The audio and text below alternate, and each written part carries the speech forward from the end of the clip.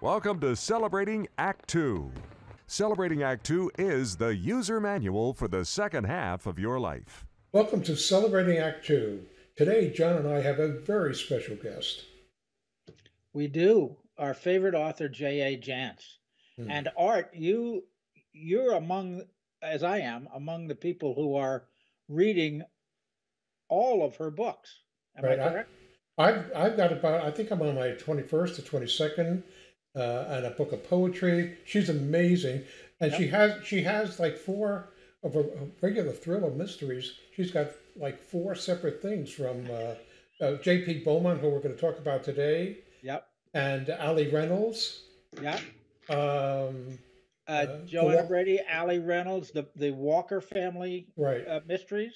hmm Um, yeah, she's she's very prolific. How many? Right. Now you counted up. How many books has she written altogether? She's actually written 70 books. Wow. of, of which several of them are shared between two characters. So she's Yes, written 70 she'll books. have- She'll have Beaumont work with Joanna Brady to solve a Right. mystery. Yeah, yeah, those are great books. Yeah. Um, so now, of course, we're going to talk to her today about her latest book, which is called Nothing to Lose. It's a J.P. Beaumont uh, mystery, um, and it's her 25th, her 25th book of the Beaumont series. That's like the silver anniversary, isn't it? If it's Sort of. 25, it is, yeah. Yeah. So, uh, but the the thing about Beaumont, of course, all her characters are different. Um, Joanna Brady comes from the Southwest. She's a sheriff in the Southwest, I Mhm. think Arizona. Is that right? Yeah, And Ali Reynolds is a former newswoman right. who's a detective. Who was from originally from from Sedona or someplace, went to California as a newswoman, and then came back. Yeah, She does great characters, and of course, Beaumont is at now at this stage of book 25. He's a retired detective from Seattle, uh, living in even further north in the state of Washington, in Bellingham. hmm Washington, and he's kind of coming out of retirement in this book. So anyway, let's talk to J.A. Jance, our favorite author, about when we talk to her, we talk about everything. We talk about writing, we talk about her life, fascinating life, and Mm. we talk about her novels. So let's talk to J.A. Jance. Bring J.A. on from the green room, from uh, Waiting in the Wings. Hi, J.A. Hello, I'm I'm waiting in the technological wings Yeah. where where life does not go smoothly as we uh, as we go. But before we go on, uh, we were trying to get this to work, and it was giving all of us all kinds of problems. Yes. And I've been having technology issues the past two weeks. I um, we watched a TV program last week where a guy was misidentified and ended up being shot by the cops due to being mislabeled on in an by an al- algorithm. And that really interested me because for the past several months, I've been getting Facebook notifications for Joanna. Well, I'm not Joanna. I know that my character, Joanna, is fictional. So I felt no obligation to reply. And then last week, when I tried to reply to a comment on my blog on Facebook, it turned up Joanna as my and my answer was from Joanna. And I said, wait a minute, I'm not Joanna. I, I know nothing about Nellie's Taqueria somewhere in Texas. and, and then finally, finally, this week, it, it and and then things were coming to the Joannas. Now there are two of us, and finally this week I had a something from Facebook showed up, and it said I could log out. So maybe I fixed my Joanna problem with Ah. Facebook. But then I had another problem with my my step counting pedometer on my phone and my watch. They just went completely haywire. I couldn't get the numbers to add up. Some numbers would go in from the watch uh, into the phone, and others would not. The, it was just really weird. I and I know enough, turn off the device, start over. Yep. So I did that to the phone, I did that to the watch, nothing helped. And then night before last, I looked at my at my watch and it said I had zero steps. And I knew damn good and well that I had 11,000 steps. So I was sitting there staring at it, and then I noticed the settings. It was on wheelchair. So I fixed that. And then I noticed it had me as an eight foot, one inch tall male. So I fixed that In a wheelchair. in a wheelchair with no steps. Are you are you giving us the plot of a new, soon in future novel by J.A. Jance? I, I believe that that will be the topic of this week's blog because it's just considering what happened to us getting signed on today, it's too funny. But uh, Yeah. Well, now- I got to tell you, it, it- technology is a bugger. That's that's all I can say. Art's the- Art's the one who deals with it uh, between the two of us, but um, all I can do is shake my head and say, "Okay, Art, what do you need?" You know. But uh, Okay, so Jay, are now, you? now I'll try to get back on topic. I'm sorry. Okay, Don't worry about it. it's a Are you- mystery, and you're a mystery writer. In, uh, J- in the- J.A., are you often confused with your characters? Because you've got what three or four main. No, I- this is the first time I have gotten the Hmm. wires truly crossed between a character and me. And it, I, every time I would get one of those notifications from, say, Facebook, I would say, What are you guys thinking?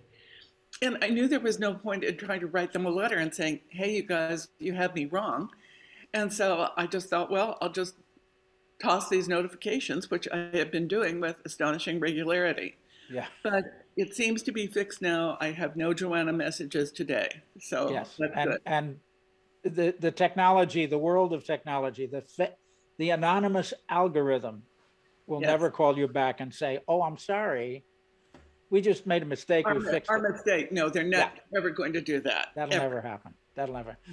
Which is why I think I like novels because we don't have to deal with the technology. I'm not a Kindle reader, for instance. You know, I like the book. I like that. Speaking Flip about books, speaking about books, okay, there is a really amazing new book coming out, written by J.A. Jance, and I just loved it. Thank you for sending us advance copies. It was just a wonderful, wonderful J.P. Beaumont uh, uh, thriller. Well, thank you. I, Nothing to Lose will be published on February 22nd of this year. So it's a 2-22-22 pub date. And uh, the thing that it was 40 years ago in the summer of 1982 when I started writing the first Beaumont book. And so really? it's really Wow. those this this year and this book marks it's the 25th Beaumont book, but it's actually 40 years of us together as author and character. Oh, wow. And I, I think that's pretty remarkable. But the truth of the matter is, I still really like the guy. And and within within a matter of a page or two, when I'm writing a Beaumont book, all of a sudden I'll be inside his first person, sort of curmudgeonly older guy perspective with his little humorous asides, and I just feel totally at ease with him.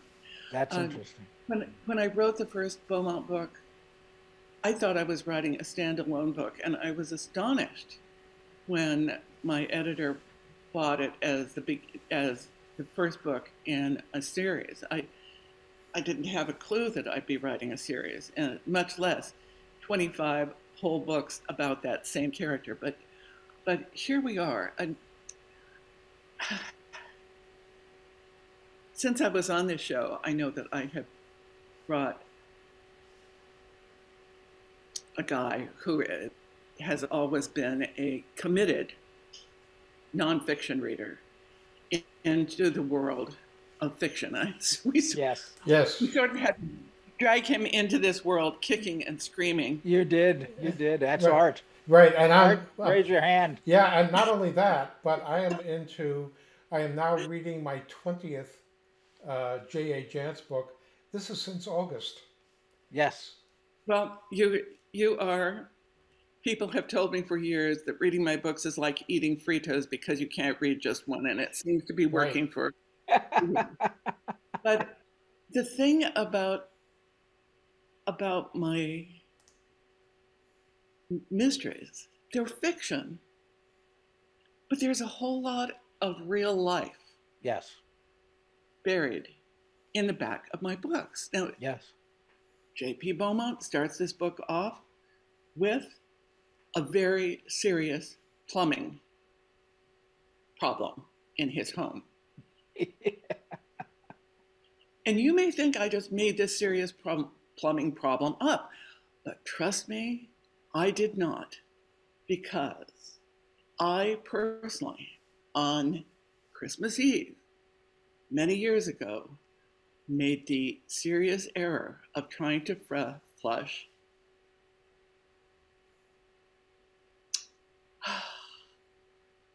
say it. Go ahead. Say it. a number two, frozen number two, from an Irish wolfhound down our indoor plumbing. And so when you find Beau dealing with this, yeah. I my readers will probably be saying, oh, "That would never happen." Well, excuse me, it did, and it does. A number of years ago, uh, I wrote I wrote a book called Payment in Kind, and it started with a serious snowstorm right after Christmas with the schools closed and kids snowboarding down or sledding down Queen Anne Hill in uh, Seattle. Well, this year we had a very similar snowstorm, only there was this polar vortex from the north and warm air from the south, and we were blasted with snow and then followed that followed by several days of below freezing temperatures. Well, in the book, the same thing happened. And I wrote about that in the book probably, uh, well, I was writing that book when we were in Hawaii in the summer. So it came out a year or so later in March. And I was doing a signing, and a lady marched up to the table and she said, You're real fast, aren't you? Uh, I guess so. She said, That snowstorm only happened three weeks ago. Mm. so, so this year, the, the flooding to the south and the snow to the north is almost exactly what shows up in Nothing to Lose, but it was written long before this year's bad weather. So there's there's real life in the background of my books, and I I think that's something that makes them interesting for me to write. and interesting to read. Yeah, I, I, as a matter of fact, so uh, we encourage everybody in our audience to uh, go out and uh, uh, read. There's nothing to lose, but I- I have a question about some of the characters you've put together. Uh, Oh, my, my favorite character in the whole book is Twink. Oh, oh, Twink- of course. Twinkle, yes, Oh, of course. yeah, As, as soon as I decided her name was Twinkle Winkleman, right. Yes. She reminded me in every way of that old uh, Johnny Cash song, A boy. A Boy Named Named Sue? Sue. Yeah. And Twink was just like that, and she is, I, she's just a presence. Yeah. And when she comes through, her and that old international of hers, that Yep. travel all, when they All. come through in a pinch. Well, that that was fun. Yeah. But where did the travel all come from? Did I have one? No. If I'd been writing it from my own personal history, it would have been a woody nine-passenger station wagon.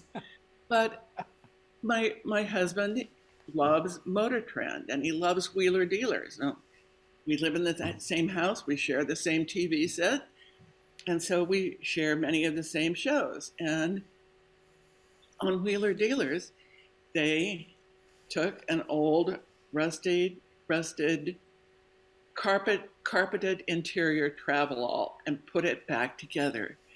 And I thought that was so interesting because I had no idea International Harvester made vehicles Yeah. like that. Yeah. And so that little piece of something I learned in the past few months ended up going right into the books. Yeah. Yeah, now but- I had to I had to look up uh, what an international travelall was, and I when I saw the pictures of it online, I said, "Oh yeah, that's like the first SUV long before Chevrolet ever decided they they would make a suburban. This was what 1950s, Yes. and of course Twink is driving this beast of a truck." And my favorite part is that she's got a 357 Magnum under the seat. Right. yes. So that tells you all you need to know about Twink. that and and she is a truck driver. just just thinking about Twink Yeah. makes me smile because she is such an intriguing character, and Yeah. and Beau is Beau tries to be dismissive of her, and he's he's smart enough to be wary of her because he figures she could clean his clock, but their interaction is is really something that when years ago I was asked to uh, read manuscripts for a writers conference. And so i that meant i had to read 25 pages of manuscripts by from 20 different people and it was an ordeal but there was one guy who wrote this he wrote a genre jumping time traveling murder mystery Hmm. and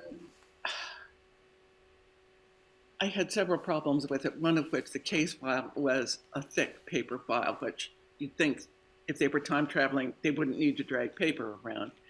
But all of the characters had very ethnic sounding names, but there was nothing about them that was indicative of their ethnicity, except for one who was female officer, number one. Ah. And so I asked him in our time in the barrel together, well, all of the other characters have names. Why didn't you name her? And he said, well, when I did my global search and replace, I must have just forgotten her. And I said, you know, as a writer, it's your responsibility to create these characters. You need to know who they are, how they were raised, did they live in a two parent family? Were they raised by their grandparents? Did they go to to YMCA? You know, the where, Boy Scouts, Girl Scouts. Who are they? What are they? And I just sort of I tried to tell him everything he needed to do to be a writer and create characters. And when we finished, he said, "But is it still publishable?" Well, no, actually, it wasn't publishable.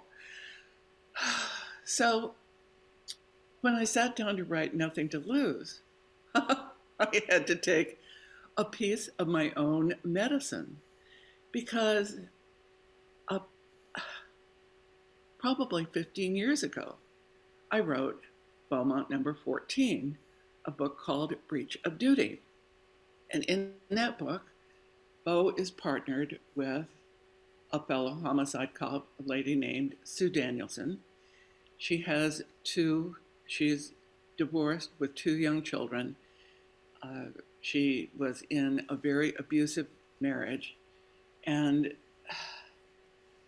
the husband is just, he's just bad news. Well, eventually he shows up in town, and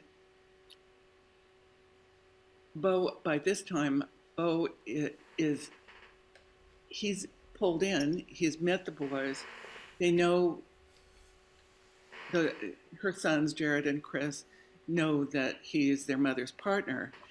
And when there's a terrible fight between their parents, Jared, the older boy, calls on Beau to and says, "What what do I do?" And Beau says, "Take your younger brother, get out of the house, run. I'm coming. I'll be there as soon as I can." Well, that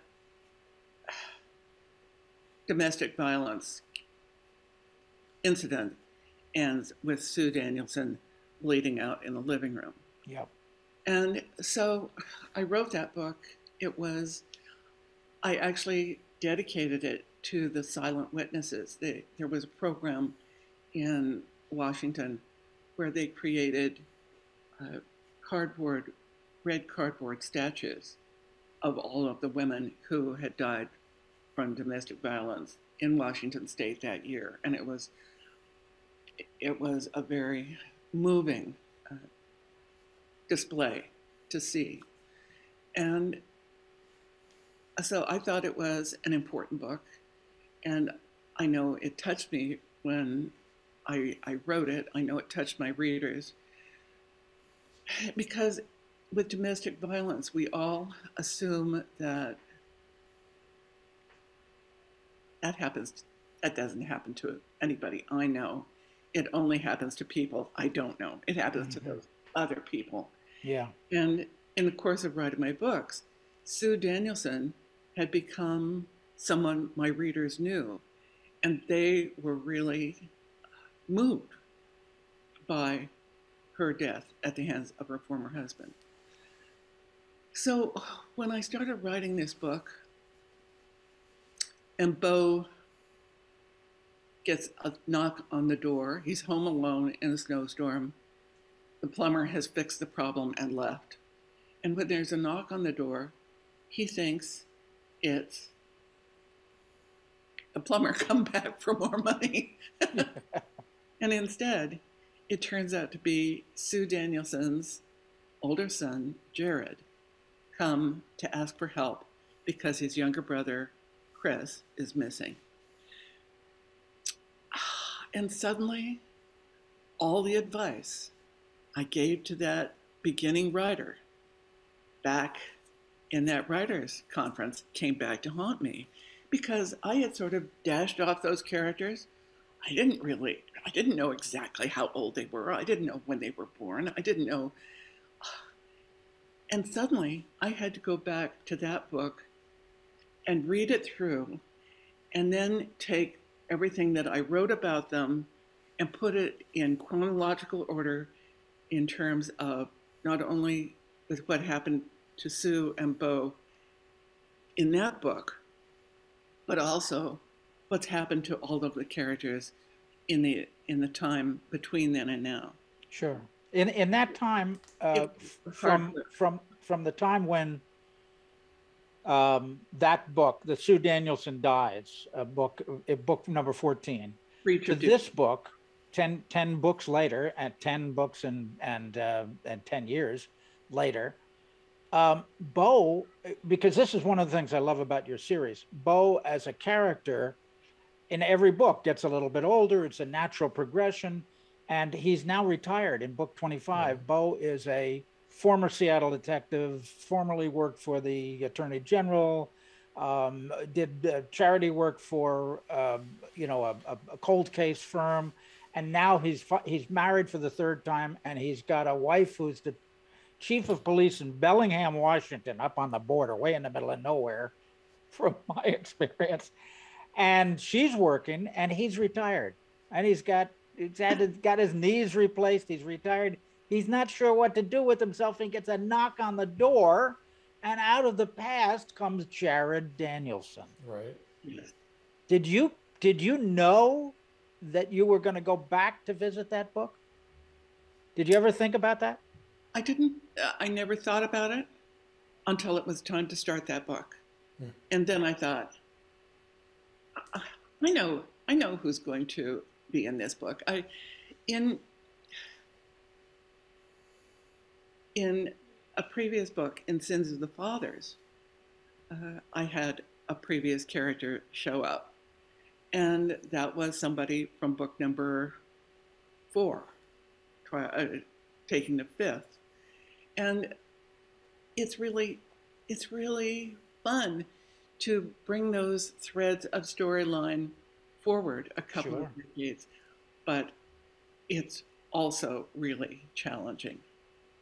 Oh, I can imagine. I can imagine. What? I- Another question for you.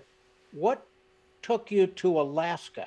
I mean, Beau has been a Seattle Police Department uh, cop, uh, Washington, state of Washington, and and all of a sudden, I, I can't recall if he's been elsewhere, but um, primarily, this book it takes place in Alaska.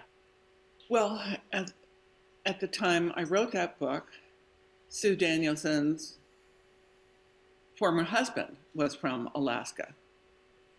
But at the time I wrote that book, I had never been to Alaska. I've been to Alaska several times since. Uh, and in fact, on one of the trips to Alaska, I, I finally found a long lost childhood friend to whom I dedicated a book a decade earlier. And, and I was able to reconnect with her, and she was living in Alaska. She still is living in Alaska. One of the things I really love about your writing uh, is that you uh, do research and bring in like a lot of things that are really unique to the area or the people you're dealing with, such as, um, for instance, you uh, talked about uh, native language in in this as you did in the Walker uh, family of the Southwest, but this is Alaska, and you talked about uh, Blizzak tires and uh, the travel all, of course, uh, uh, and what have you. So where do you come up with this this research? That's, do you just trip over this stuff? I I come up with this stuff, and then I then I ask. Actually, for for as I was writing this, I got a hold of my my childhood friend from from who lives in Alaska now, and I said, "Okay, what what would somebody call an Alaska outsider? If you lived in Alaska, what would you call somebody who was from the lower 48 who came there knowing nothing?" And she said, "Cheechako." Okay. Well, I was. That's sort of not a nice way of saying it. There, that's that's sort of insulting, and it goes with the territory. I think we all have. When somebody comes here and calls Puyallup, Puyallup, or Yes. Squim, Sequim, you know who an outsider is, and it, you just can't help but be sort of superior about it. And I was under the impression that that was a word I had never heard. But then I mentioned that word in my in a blog, and someone sent me a recording of a totally politically incorrect song from the 50s, which has that word in it, clearly in the chorus. And the, and the song is Squaws Along the Yukon Are Good Enough for Me. And so, but the, uh, what do you, what do you call, we call in Tucson, we call the University of Arizona the U of A. Eugene is the U of O. Well, what do you call the University of Alaska in Anchorage? I had to call and find, call somebody and and ask that question, uh, and and I did a lot of research to get the right words, the the right uh, indigenous words for for Alaska natives, and. Uh, one of the other character I really like in this book, and in addition to Twink, is the uh, the professor of anthropology Oh, in yeah. charge of human remains in Yes. the state of Ha- West. Harry. Harry, Harriet, Dr. Harriet Reins. Har- uh, commonly known as Harry to her friends. And Beau just can't quite bring himself to call her Harry because, as far as he's concerned, the only Harry in the in the universe is his former uh, his former boss at the Special Homicide Investigation Team, who was Harry Eyeball, Harry Ignatius Ball. So, uh, but I, Harry is another one of those characters who who is just she's just there. And and she understands stuff and her understanding of exactly what Bo said not just the story he told but everything behind it is what creates the ending of that book Yes. um, in on the reservation, one of the things I learned about Tohono O'odham storytelling is that a story must end where it begins, and and in this book, you find Bo.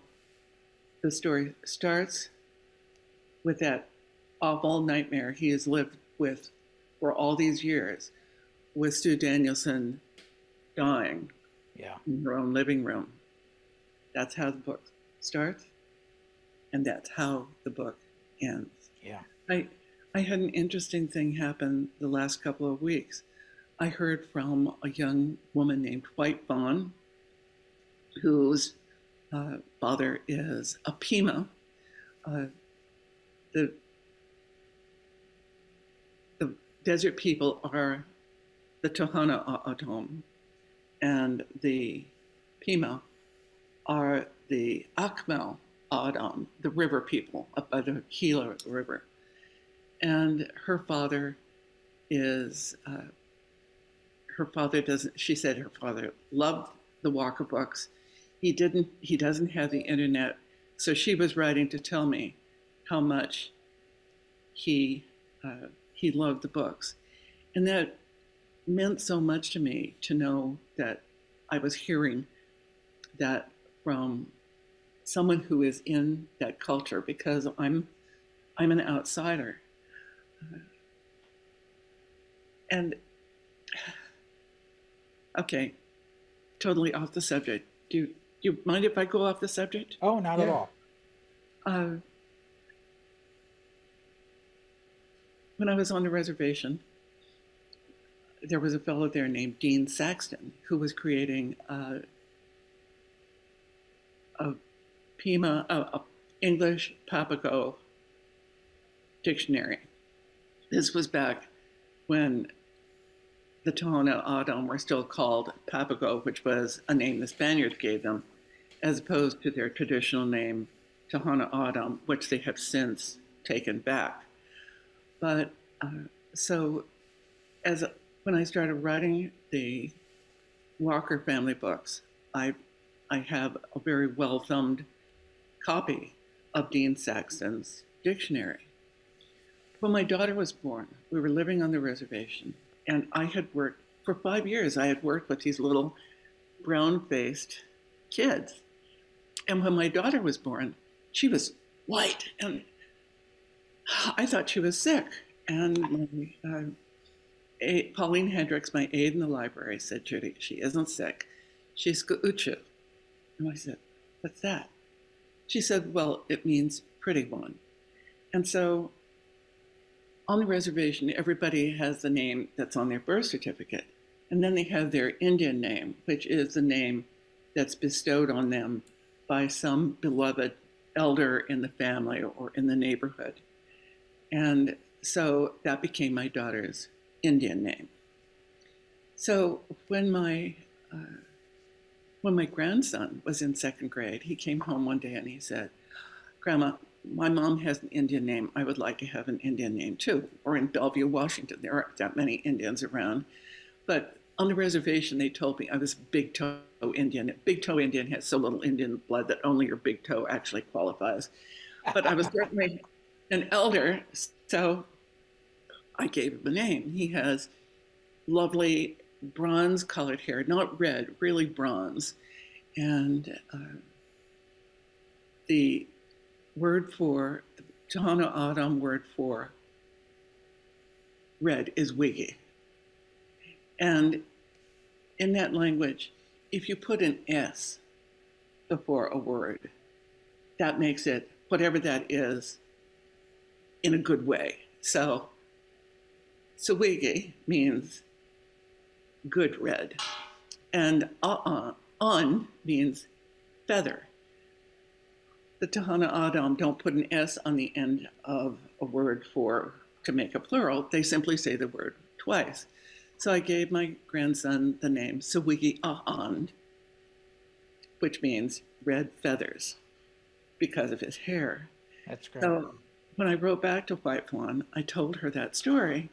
And I said, I tried looking up Skauchu in, in the dictionary. And I, could you please ask your dad to tell me what the proper spelling is? And she wrote back and he, she said, Your spelling is fine. And what that means is someone who will grow up to be perfect in every way.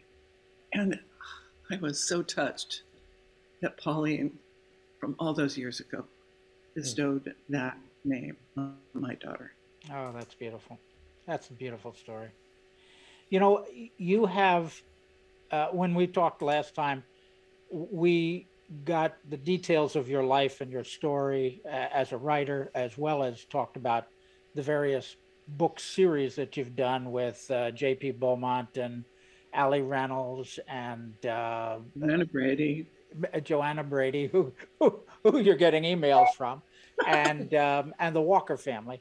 And it's interesting because I can see, uh, being a, a, reader of many of your books, I can see, and I'm reading the Walker books now.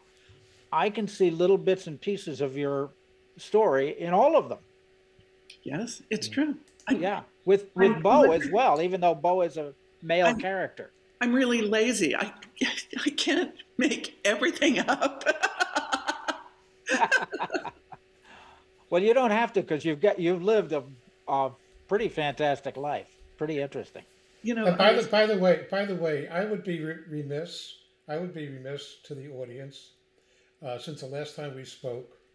Uh, one of my treasured uh, objects, something I purchased based on uh, hearing about it from you, was uh, I don't care how many J.A. Jance books you've read, if you don't get this one, Oh, her book of poetry after the book fire, of poetry after the fire. It is Yeah. absolutely one of the most touching uh, books. And to me, what it did was it reinforced what I like so much about you, J.A., which is that no matter what happens in somebody's life, as long as you have a breath and you have a dream, there's no reason why you can't fulfill that dream. And after, and I, I've done a, a pretty accurate count. You've written 70 books plus After the Fire. Uh, many of the books, uh, uh, well, four or five of them are actually dual characters, and I can't wait to get to them. I'm, I'm trying to read up to an IOR in order reader of Beaumont and some of the others so that I get it. So when I get to the book, I get it at the right time. Uh, but um, after the fire, I highly recommend to go buy it and enjoy it. And if you ever feel that you need to be like J.A. Jance, somebody who doesn't give up and has a wonderful life and and the ability to share her wonderful stories, uh, because half a life ago, that didn't exist. This has all been done in the second in her second act, if you will. Yes. Actually, I was thinking about that this morning as I was getting ready. Uh, I didn't start writing my first. I, I wrote the poetry starting in the '60s, but that wasn't. actually published until 1984. But I didn't sit down to write my first novel until the middle of March of 1982. And a few years later on, I was interviewed by some young woman. I, I don't know.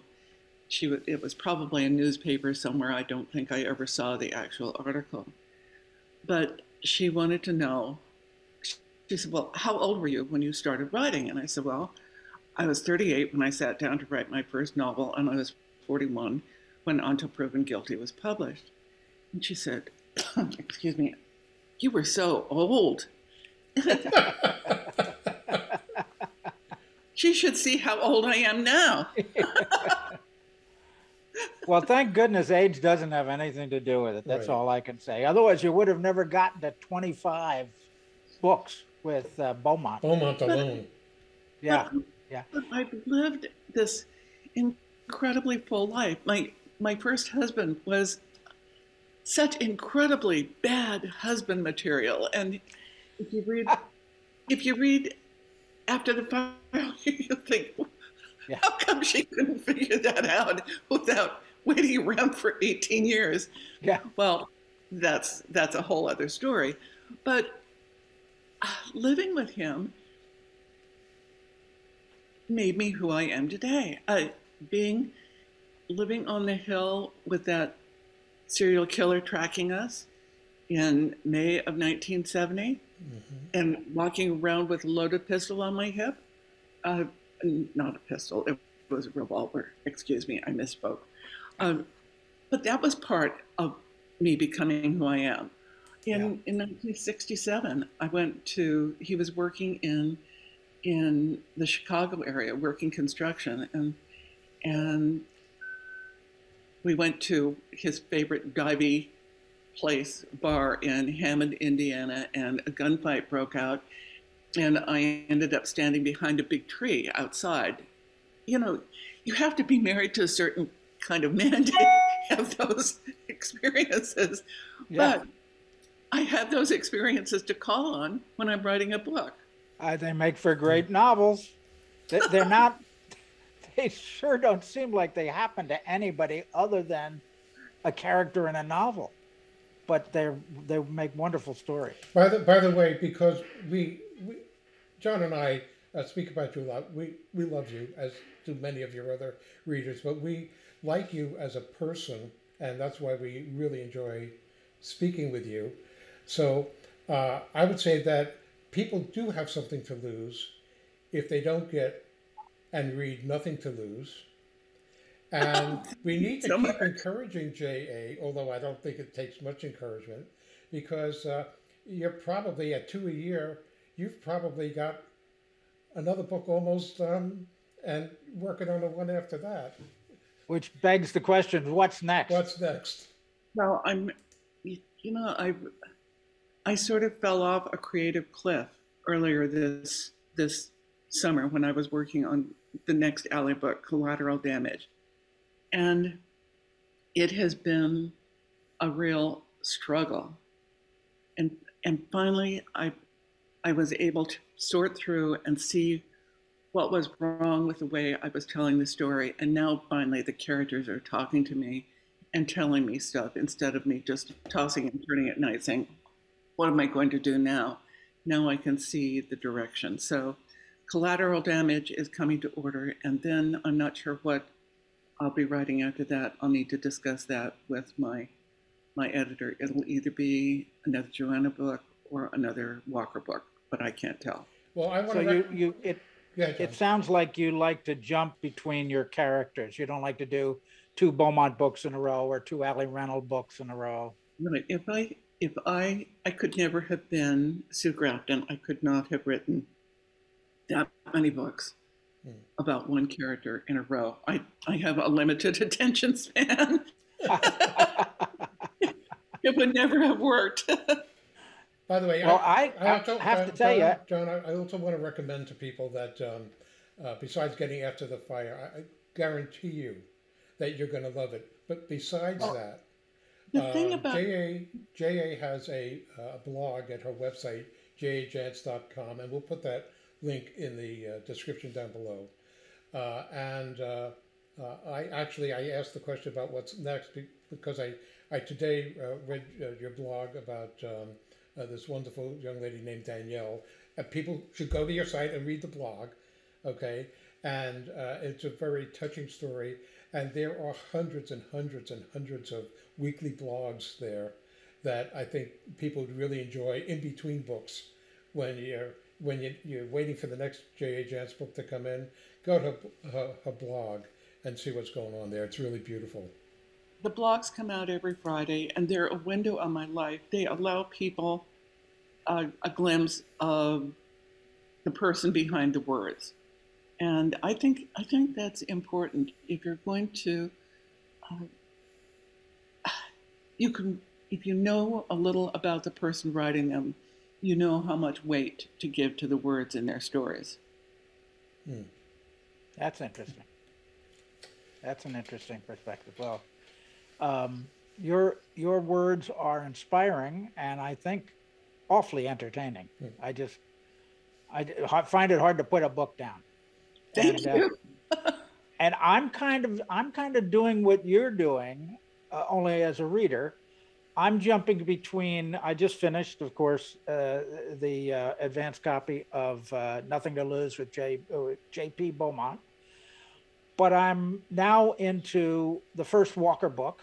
I'm planning on reading your series about uh, the Walkers, and I've already gotten uh, what I think is more than halfway through the Ali Reynolds series, and probably a little further along the Joanna Brady series. So I kind of like to jump back and forth. I I don't stick with one of them at a you know two two in a row. I, th- I think that's a good idea. You, well, thank. I'm glad you did four series. Well, let's see. So, so can we have can we have a commitment? We're going to put you on the spot. We'd love to have you back any day. Just call us, and we'd love to talk to you. But certainly when your next book comes out, uh, which All is right. a couple of months from now, right? uh, it'll be it'll be probably in the summer. Okay, so we would love to have you back and talk about that, and uh, and lots of other interesting stuff that just pops out of your mind to say, yeah, this is how it happened, and this is what influenced it. So we we love that about you. Uh, it's just a great conversation, and you feel like a long term friend, and you are. Thank Thank you. you. Thank you so much. Ja, thank you so much for sharing and for the books.